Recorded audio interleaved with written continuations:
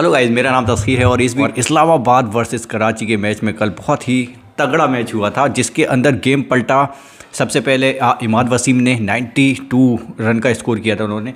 तो वो जो स्कोर था, वो एक स्ट्रेंथ दे गया था कराची को ऐसा लग रहा था कि शायद अब जीत जाए। लेकिन नहीं, अगली पारी में दूसरी इनिंग के अंदर आज़म खान ने गेम को फिर से पलट दिया और अपनी तरफ़ ले गए।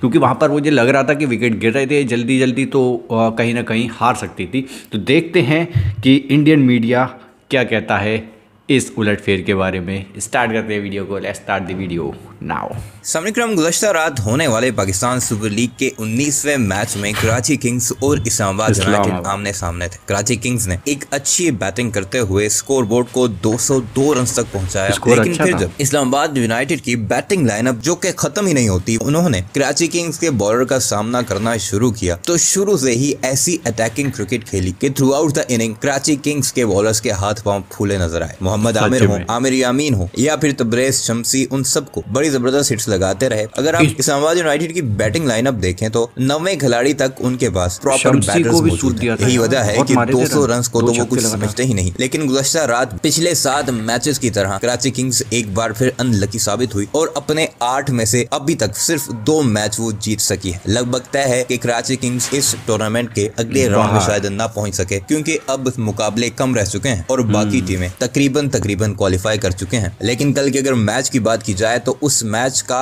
एक ही हीरो नज़र आया जो कि न सिर्फ़ 360 शॉट्स मारता नज़र आया बल्कि उसने कराची किंग्स के मुँह से फतह भी छीन बात हो रही है आज़म खान की। और न सिर्फ़ पाकिस्तान में बल्कि दुनिया भर में अब आज़म खान का चर्चा हो रहा है। और पाकिस्तानी क्रिकेट बोर्ड पर सवाल उठाए जा रहे हैं कि आखिर इसे तुम टीम में कब शामिल करोगे? साहबी ने हाँ। तो ये तक कह दिया कि पाकिस्तान को इंजमाम से भी अच्छा खिलाड़ी मिल गया है। अगर पाकिस्तान इंजमाम को खिला सकता है जिनका वज़न काफ़ी ज़्यादा था तो फिर आज़म खान के टैलेंट के आगे भी उनके वज़न को नहीं आना चाहिए। में तो देखते हैं कि पाकिस्तानी क्रिकेट टीम में आज़म खान को शामिल किया जाता है नहीं। हालाँकि उनकी पावर हिटिंग बड़ी ज़बरदस्त और शायद इस तरह वो शॉट्स लगाते हैं। इस वक्त पाकिस्तान टीम में उस तरह की शॉट कोई नहीं लगाता। इस बारे में आपकी क्या राय है कमेंट सेक्शन में ज़रूर बताएगा आइए आपको लेकर चलते हैं और दिखाते हैं कि आज़म खान की किस तरह भारत के सहाफी तारीफ़ करते नज़र आ रहे हैं।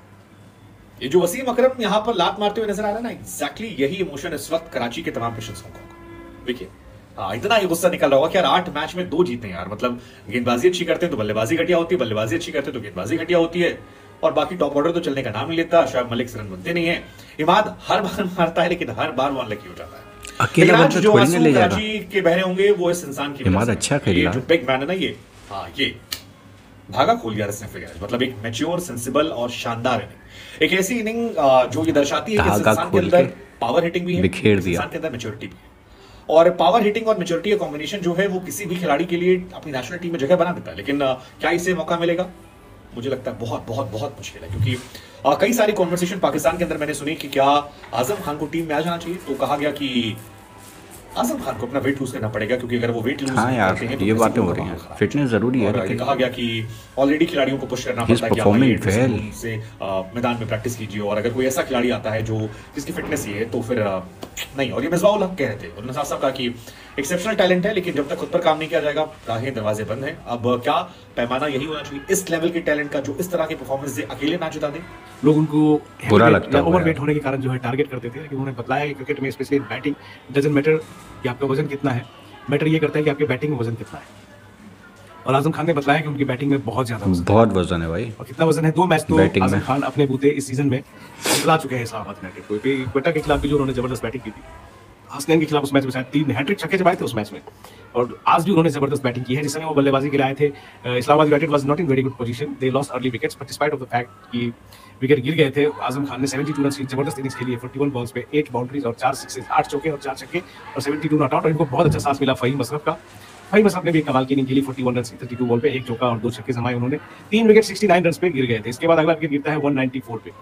मतलब 125 रन की पार्टनरशिप जो है टी ट्वेंटी क्रिकेट में, लगा दी आज़म खान ने और फहीम असलम ने, वो भी काफ़ी तेज 7.2 ओवर में गिरा था तीसरा विकेट और उन्नीसवें ओवर की आखिरी गेंद पे गिरा है चौथा विकेट मतलब आप समझ लीजिए, उन्नीस 11.4 ओवर्स में जो है इन लोगों ने 125 रन की पार्टनरशिप कर डाली और इस पार्टनरशिप के बूते जो है इस्लामाबाद यूनाइटेड ने एक बहुत ही अच्छी, बहुत ही आसान जीत। तो कराची किंग्स का बैंड फिर बच गया। दो सौ रन स्कोर बनाने के बावजूद जो है टीम हार गई। इस्लामाबाद यूनाइटेड की बैटिंग ही कुछ ऐसी है।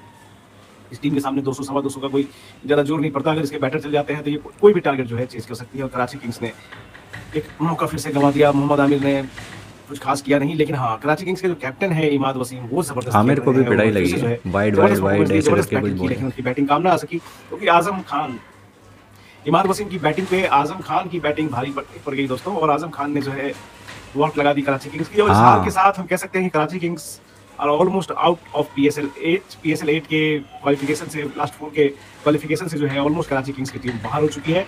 अब बहुत ही मिराकल कल जो हम कह रहे थे, बात करते हैं मोजा हो है तो ही कराची किंग्स जो है आगे बढ़ेगी। अदरवाइज़ कराची किंग्स का गेम ओवर हो गया है। कराची किंग्स के लिए पूरे सीज़न में एक ही पॉजिटिव रहा उसके कप्तान इमाद वसीम ने अपने लेवल पे बहुत ज़बरदस्त खेल दिखाया। हाँ, लेकिन बाकी टीम सरेंडर बोल गई। आमिर यार आमिर मोहम्मद आमिर इतने पुराने बॉलर है इतने सीज़न बॉलर है उनको पता नहीं है क्या रिव्यू कब लिया जाता है रिव्यू नहीं लिया जाता है। लेकिन स्टम्प से बाहर हाँ, वो रिव्यू लिया था बहुत गलत लिया था। साफ़ दिख रहा था बाहर है गेम ऊपर से लगड़ा लग रहे थे। लगड़ा भी रहे थे और खराब खराब रिव्यू भी ले रहे थे पता नहीं वो रिव्यू विकेट लेने के लिए ले रहे थे अपने आप को एक्स्ट्रा ब्रीदिंग स्पेस देने के लिए ले रहे थे। बहुत खराब रिव्यू आमिर की बॉलिंग बहुत ही खराब रही। कल पिछले मैच में पेशावर के खिलाफ जितनी अच्छी बॉलिंग उन्होंने की थी उतनी घटिया बॉलिंग आज उन्होंने की है। दम तो बहुत लगाया लेकिन दम लगाने से क्या होता है? दम सही डायरेक्शन में लगना चाहिए। पर्सनल माइलस्टोन के लिए कब तक खेलते रहेंगे इमाद वसी सवाल तो जाए तो क्योंकि आप रन तो बना रहे लेकिन आपकी टीम मुकाबला चोटिल भी थे। यही सवाल लोग किया करते थे जब बाबर आज़म खेला करते थे कराची किंग्स के लिए। और आज भी जब पाकिस्तान टीम के लिए वो खेलते हैं रन बनाते हैं तो लोग यही कहते हैं कि आप तो रन बना रहे हैं लेकिन उस रन का क्या? क्योंकि टीम तो मुकाबला नहीं जीत रही है। इमाद वसीम भी सेम काम इस बार कर रहे हैं लेकिन लोग उन्हें क्या बोल? रहे हैं। वाह क्या पारी खेली है? अकेला लड़ता रहा। लोन वॉरियर द किंग वगैरह द फाइटर वगैरह वगैरह जो है लोग सोशल मीडिया पे कर रहे थे। ये तो दोगलापन हुआ ना कि बाबर आज़म रन बना रहे हैं और उनकी टीम मैच नहीं जीत पा रही है तो वो हो गया सेल्फिश प्लेयर वो पर्सनल के है। तो वसीम आप क्या कर रहे हैं? आप हम्म। कौन सा दूध में धुले हुए हैं? आप भी तो वही कर रहे हैं ना कि ऊपर के सारे बल्लेबाज रन नहीं बना रहे हैं आपके। आप आ रहे हो बैती गंगा में हाथ धो ले रहे हो और आपको लगता है कि आपने बहुत कमाल का काम कर दिया है। तो जब आपकी टीम जीत ही नहीं रही है अभी कुछ दिन पहले मैंने देखा था वो चार ओवर में छब्बीस रन देकर मोहम्मद आमिर को चार विकेट लिए तो उन्होंने बोला था कि पर्सनल माइलस्टोन के लिए खेलने वाले खिलाड़ी हमारी टीम में नहीं है। तो आप पेशावर जल्दी के खिलाफ बुरी तरह से आ रहे भी और उसके बाद आप केक कट कर रहे हो छब्बीस रन देकर जो चार विकेट आपने लिया तो आप पर्सनल माइलस्टोन को सेलिब्रेट क्यों कर रहे हो? यार इस टीम में घमंड लीड हुआ इनको। कराची किंग्स का नाम दरअसल में दोगला कराची होना चाहिए क्योंकि इनमें सारे के सारे दोगले आदमी बने। आप परफॉर्म करो करो और सारे शॉट से दाएँ बाएँ आगे पीछे ऊपर नीचे सबको कूटा। स्पिनर को तो इतना ज़्यादा कूटा कि शदाब खान पोस्ट मैच जब इंटरव्यू दे रहे थे तो उन्होंने कहा कि यार स्पिनर्स के लिए काल है। मैं कप्तान हूँ, मैं नेशनल टीम में खेलता हूँ, लेकिन जब मैं गेंदबाजी करता हूँ नेट में तो ये धुआँ निकाल देता है मेरा मतलब बहुत मारता है। तो हमें यकीन था कि ऐसा ही होगा और इसने कर कर दिखाया। उधर दूसरे कैप्टन जो इमाद हैं, वो भी कह रहे हैं कि यार मैच हमारा अच्छा था 200 के ऊपर हमने स्कोर बनाया था, हमें लगा था कि आज मैच हम जीत जाएँगे। लेकिन कैसे जीतते अगर आपके सामने ऐसा टैलेंट है जो आपको इस तरह से पिटाई करे और सिंगल हैंडेडली मैच आपसे खींच ले जाए तो फिर आप बहुत कुछ नहीं कर सकते और यही हमारे साथ हुआ। तो आज मैच में हम अपने हार को अपनी वजह से ज़्यादा आज़म खान की जीत के तौर पर देखते हैं क्योंकि आपको सामने वाले की तारीफ़ करनी पड़ेगी हालाँकि कराची के हार की वजह है मतलब टॉप काम किया है तो करनी दो तीन खिलाड़ियों पर निर्भर हो जाना फील्डिंग लूज करना वो लोग कहते हैं कि कितना आ, भी इग्नोर करो इस चीज़ को कि घमंड आप में है अगर अगर अननेसेसरी चीज़ें आप कर रहे हो आपके अंदर कितना भी टैलेंट आप परफॉर्म भी कर रहे हो आपकी बैटिंग भी अच्छी हो रही है बॉलिंग भी अच्छी हो रही है लेकिन कहीं ना कहीं आप घमंड दिखा रहे हो कि यस हमसे ज़्यादा कुछ नहीं है ये वो सामने वाले को कुछ गिन नहीं रहे हो तुम किसी भी लाइन में नहीं ले रहे हो तो वो कहीं ना कहीं आपको आ, उसका खामियाजा दे भुगतना पड़ता कहते हैं ना भले ही आप अपने बलबूते पर कुछ भी कर लो, लेकिन वो जो ऊपर बैठा हुआ है जिसको खुदा कहते हैं, जिसको भगवान कहते हैं लोग वो तो देख ही रहा है भाई सब कुछ।